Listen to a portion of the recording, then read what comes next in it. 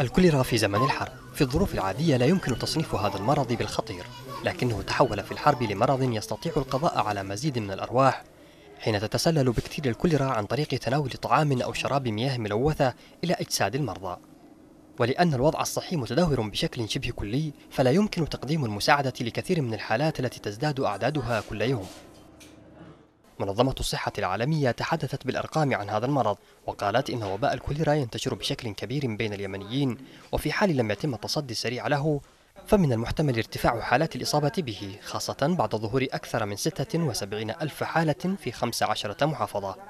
وأوضحت المنظمة أنها سجلت حتى الآن 340 حالة يشتبه في إصابتها بالكوليرا منها 18 حالة مؤكدة في محافظات تعز والحديدة وصنعاء والبيضاء وعدن ولحج.